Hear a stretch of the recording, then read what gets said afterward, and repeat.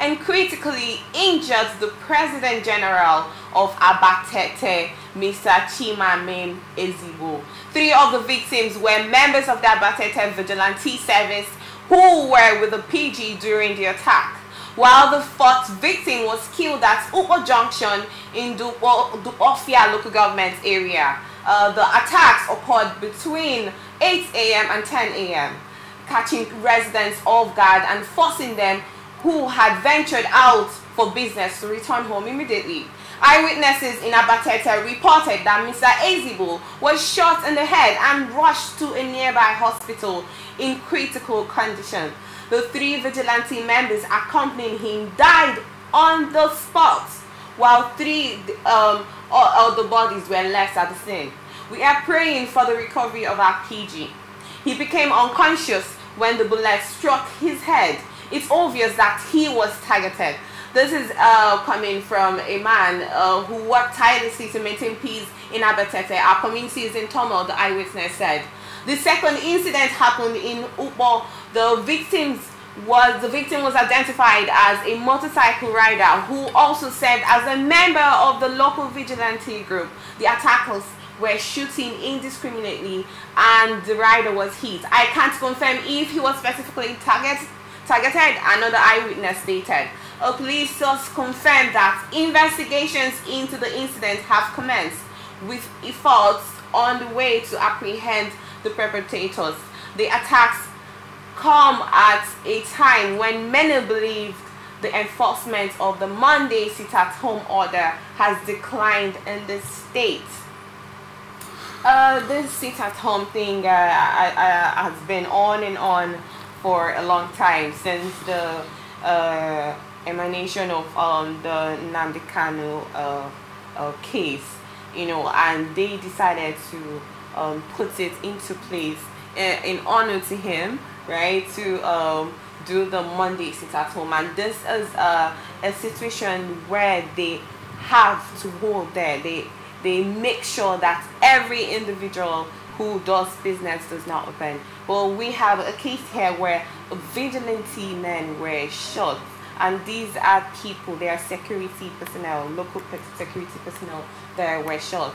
I, I don't know how this correlates, but I would love to get your thoughts on this. Uh, well, I think uh, the first thing first, I would, I want to commiserate with the family of um, the gentleman that was killed. I have said it before and I'll say it again that what we're experiencing today in the Southeast as a result of failure of leadership. Um, we have a situation in our hands and we think it's something that we just, you know, um, just look at it and feel is normal. But then again, non-state actors, you know, by one reason or the other, decided to hold an entire region to hostage. That's the way I see it. Because when you say people shouldn't come out, from their houses to do business and move around on a Monday. And this has been in existence for more than a year now. And they are still sustaining it. What does that tell you? It tells you that the government in place has completely disappointed people. Because if the government continuously say that people should come out, because that's the, that's the case, you know, the government will come out. Don't worry, we'll protect you and all of that. At the end of the day, when they come out, they get killed by, you know, this, uh, you know, disgruntled element. It becomes a case of we don't even know who is in charge. So for me, I, I would, like I've said before, I'll say it again, that governance need to be up and running in the Southeast. They need to wake up from their slumber and ensure that these criminals, these undesirable elements are sufficiently dealt with. Mm. Nobody's saying that you shouldn't agitate. Everybody has a right to agitate. But don't allow your agitation affect the other man going about his business. You know, in as much as you know they claim that they have an issue, you know, and all of that and all of that. But the ways and manner they are going about this whole thing is is sickening. Now you person you've killed, the person has a family, the person has well wishers so what's what what do you not expect his, his wife and his children to see you as? As somebody that is fighting for the freedom of, of a man that uh, obviously is from the same region with you. But like I've said before, governance is, is, is, is lacking in the southeast.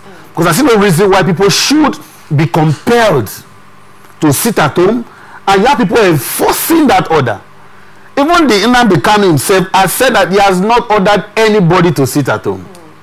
So who is the person giving the order and who are the people enforcing it? We have we have of cases where uh, you know trucks were uh, uh, uh were attacked.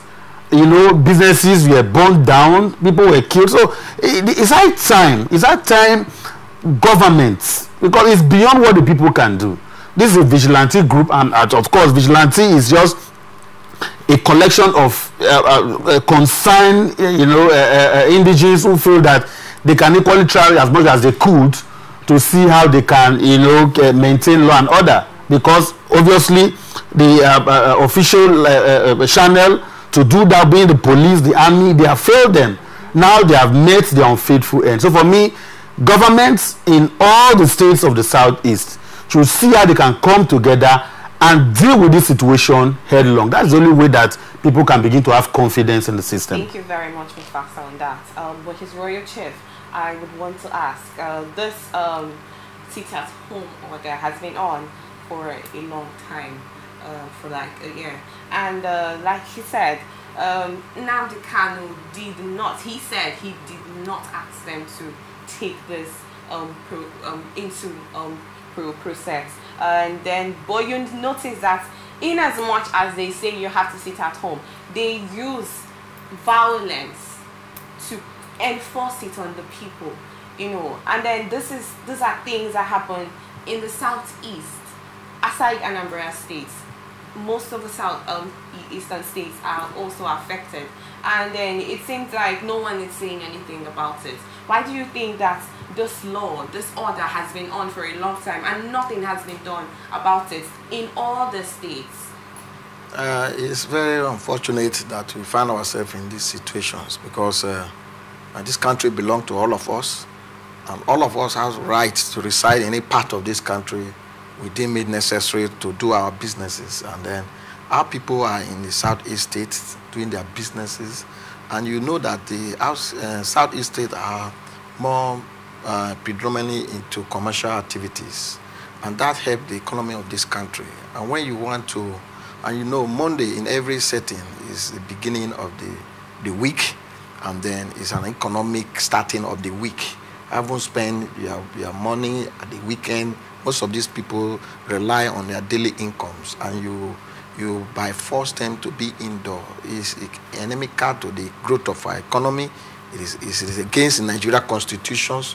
It is against the government in the southeast states, and it's against humanity, because it is only um, it is only government that has after God. I think it should be government that and in a soliciting forms. If you want to restrict movement, you give reasons why you want to restrict movement. Just like we have election day, normally in some states, every state of the federation, it mm. is mandated that people should go and um, um, and uh, carry out their social, uh, civic uh, responsibility. In those cases, you know that there's something going on in the state. But for agitation, like Ken Saro-Wiwa we say, that uh, the, free, the fight of the Ogoni people, agitation of the Ogoni people, it is always a violent-free agitations. It's a non-violent agitations that you continue to fight for the rights of the people. Okay. Is Why do people, you think they have not done anything about this for this period of time, this sit at home order, restriction of movement, has been on for a long time. Why do you think that security personnel have not come out? Why do you think the governments of each state have not decided, you know, like he said, decided to enforce their own law of stopping the sit at home order? Failure in governance, like you have mentioned. Failure in governance, because if you can look at it in this angle, uh, the Southeast states, they, they have security votes to each of these governors. What are they doing with these security votes? If not to protect lives and properties of their respective states. What are they doing with this security vote? I was thinking that they would do a kind of collaborations, ensure that they stop this nonsense. I call it nonsense because taking people's life, it is, it is against humanity. unjust, unjustly, you just come out any day, you just kill people randomly. And the failure in this architecture, uh, security architecture in Nigeria is giving right to these um, non-actors to be in possession of firearms. For instance, how many policemen are there to protect lives and properties? If you have money, you can secure yourself. And how many policemen are in Nigeria as we speak that is there to secure an individual, as person? It is, it is like 10% per policeman that are expected to be to be policing. Like as I'm sitting down here, there are some numbers of police that are expected, including all of us here, that one policeman should be protecting us physically or or spiritually or otherwise. But we don't have them because those that have money, the politicians, if you check how many numbers of police going around politicians, it's on the high side. And I don't think any government, any constitution, any legislators are thinking towards that because they are part of it.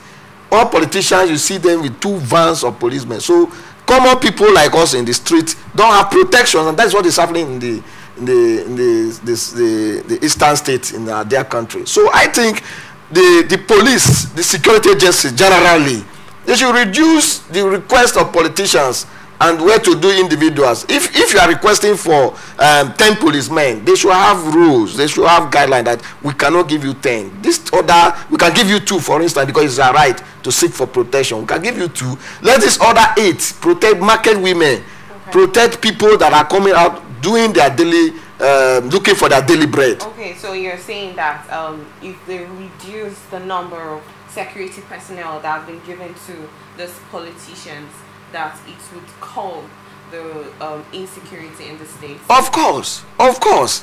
How could you, for instance, you see police, eh, one just one person, you see like four van of policemen escorting just one person. Maybe you want to go and take breakfast in a choice locations.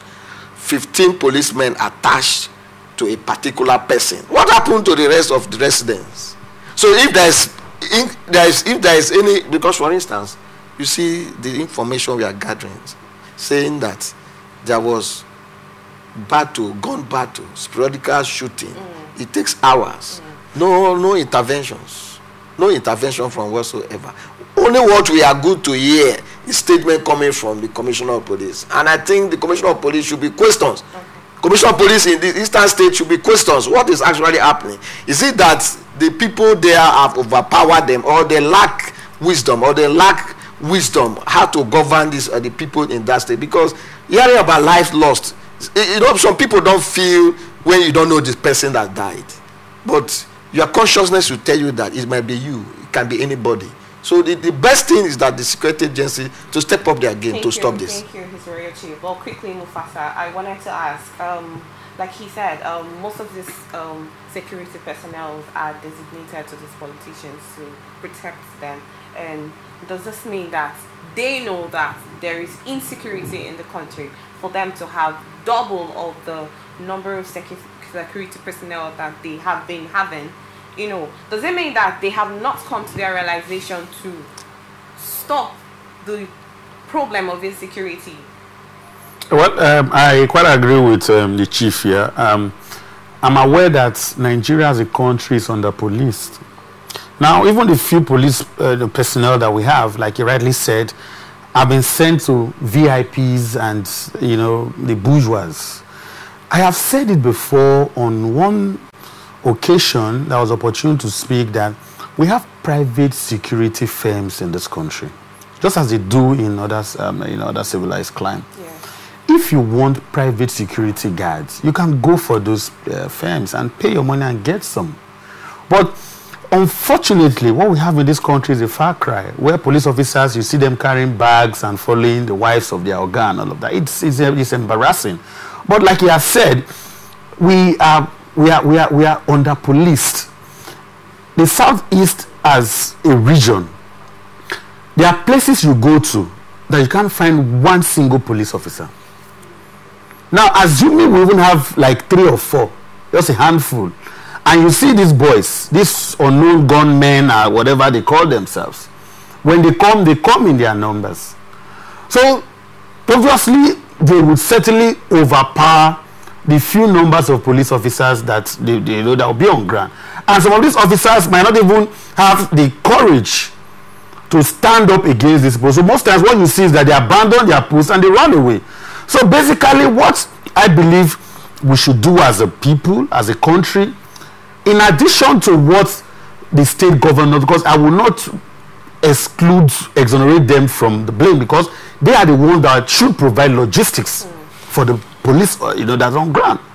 In addition to that, let the country see how we can increase in the number of our security personnel. You know, uh, what we are good at is whenever there's an election somewhere, you deploy all the entire uh, apparatus of the police force and the military to, you know, to go for election duties and all of that. But now we have a serious issue in our hands. The Southeast is at war, whether we accept it or not. Mm. And until we come to that realization as a people and do what is absolutely necessary it will get to a point where people will find very difficult to even want to go back home, especially those who come from that region, and that is what I don't pray get. Well, if it gets to that particular point, my sister, it's, it's a recipe for disaster. Okay, quickly, um, this sit-at-home order back and forth and has affected the citizens of the states and uh, we see situations where they burn houses, they burn properties, they kill like the situation, and um, we are talking about the situ- economic situation of the country as it stands. And then um, most of these people that have been affected are commoners, um, market sellers. They are people that could barely feed, but they have small space where they manage for themselves and their families. And then we see this um, gunmen, this unknown gunmen um, in the states destroying their properties.